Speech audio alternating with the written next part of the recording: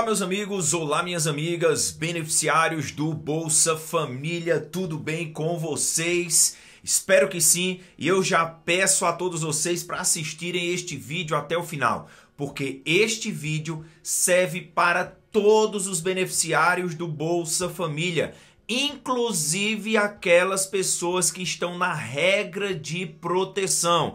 Jefferson, mas eu não estou na regra de proteção. Mas em algum momento o governo pode entender que a sua renda ela aumentou e você se enquadrar na regra de proteção. Por isso que é importante todo mundo assistir este vídeo, principalmente quem já está na regra de proteção. Porque neste vídeo nós vamos entender todos os detalhes sobre a regra de proteção, quando ela acaba, quando ela inicia, se tem a ver com aquela regra de emancipação, então assista este vídeo até o final. É novo, é nova, se inscreve em nosso canal, ativa o sininho de notificações, compartilha com todas as pessoas que vocês conhecem e esmaga o dedo no like para fortalecer o nosso canal. Entendido aí? Esse aqui é o nosso Instagram, vem fazer parte da nossa família também lá no Instagram. Vocês serão muito, mas muito bem-vindos nas nossas plataformas, certo? Que estão na descrição do vídeo. Sem mais delongas,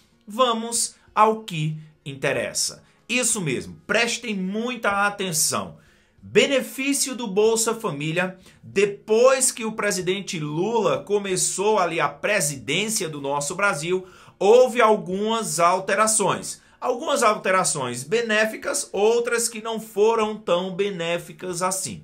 Vou dar um exemplo. Manteve os 600 reais, aumentou os 150 para as crianças, para as crianças e adolescentes, 50 reais. Teve também mais 50 reais para as gestantes e para as nutrizes que irão fazer parte. Como também nós tivemos ali outras notícias ruins, não é? Muito ruins. As pessoas que aumentaram a sua renda tiveram a redução pela metade do Bolsa Família, que foi a grande maioria. A questão da fiscalização ficou mais dura. Por quê? Porque pessoas que é, estão dentro das regras estão sendo bloqueadas, estão sendo canceladas, estão demorando mais para voltar a receber o benefício e tudo isso dificulta para aquelas pessoas que são beneficiárias do Bolsa Família. Mas uma regra importantíssima que veio fazer parte do novo Bolsa Família foi a regra de proteção.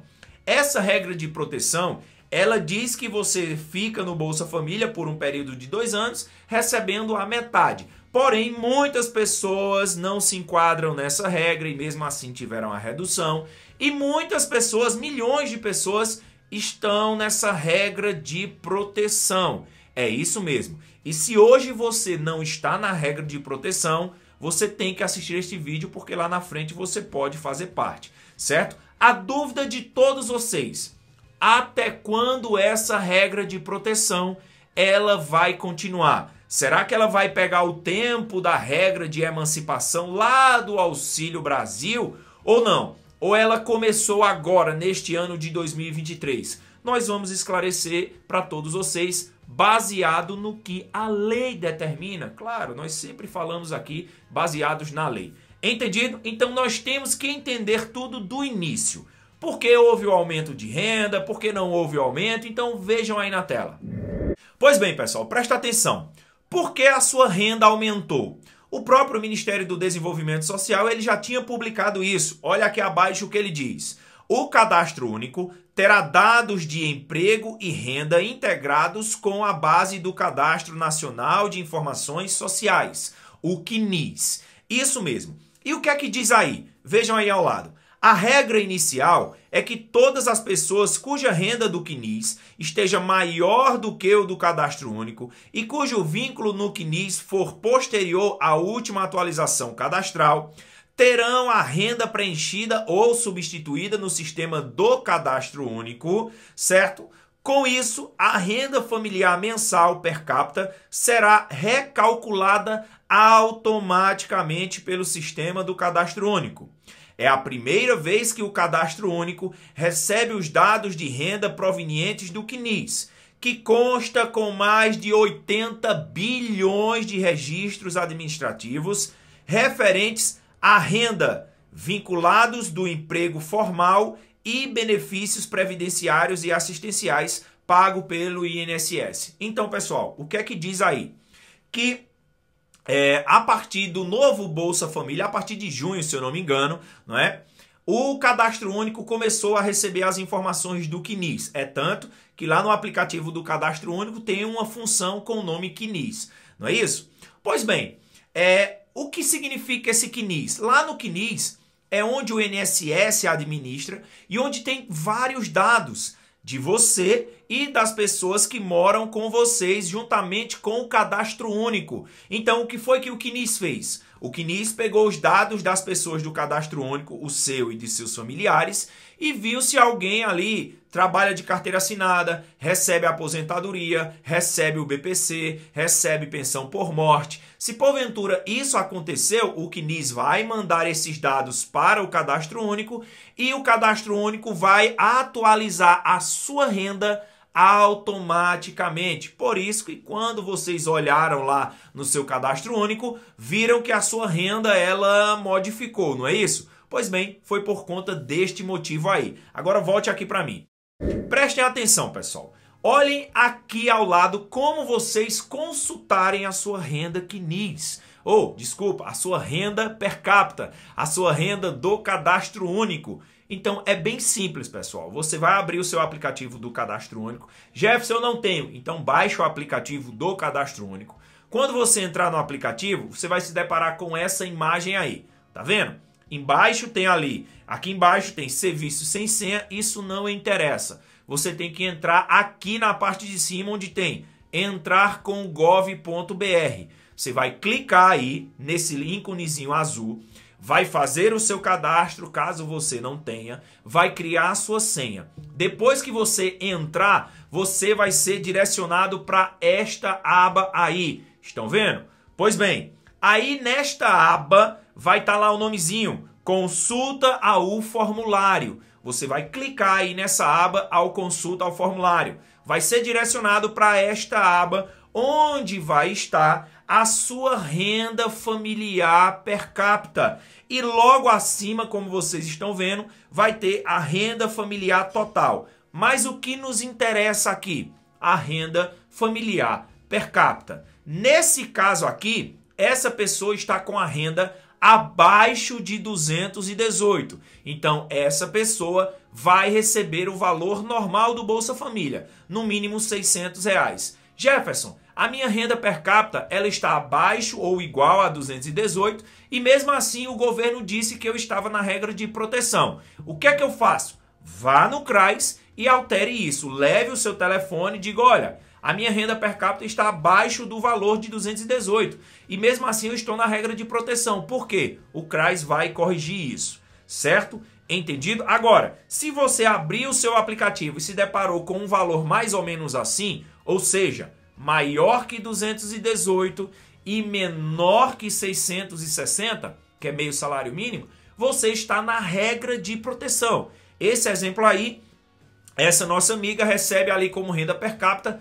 420 reais. Então, ela está na regra de proteção do Bolsa Família. Jefferson, eu queria entender um pouco sobre essa regra de proteção. Vou explicar para vocês baseado na lei, certo? Então, o que a lei determina? A lei do Bolsa Família, Lei 14.601. Olha o que ela diz lá no seu artigo 5 presta atenção, onde fala da elegibilidade.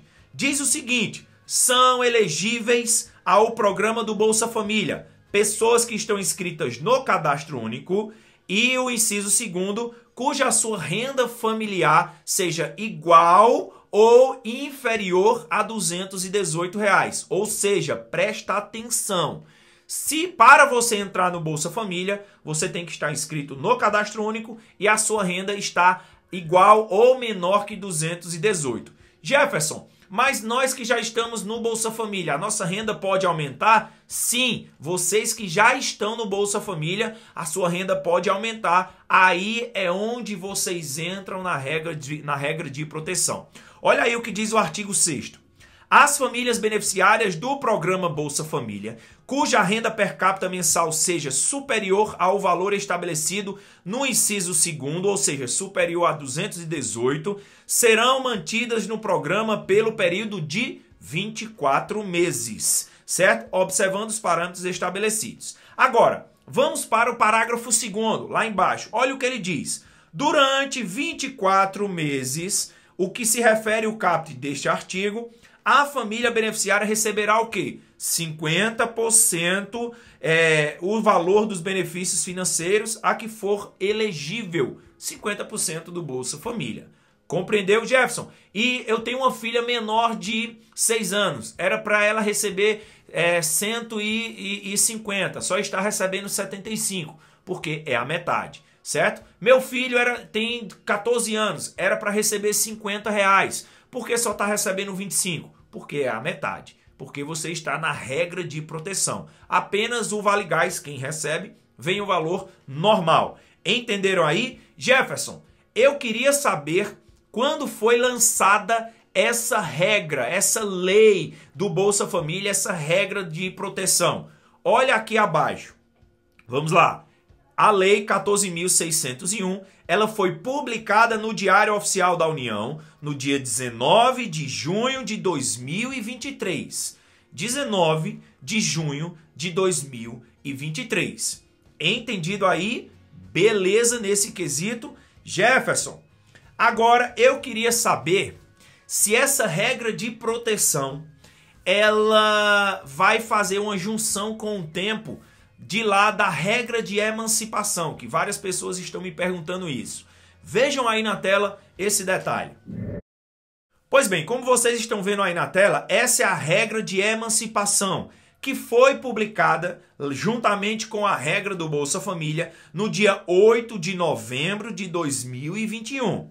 Então, pessoal, essa regra de emancipação, que está aí na lei, é, deixa me ver aqui, lei 10.852, ela diz o seguinte: a família que entra na regra de emancipação permanecerá no Auxílio Brasil por um período de dois anos, certo?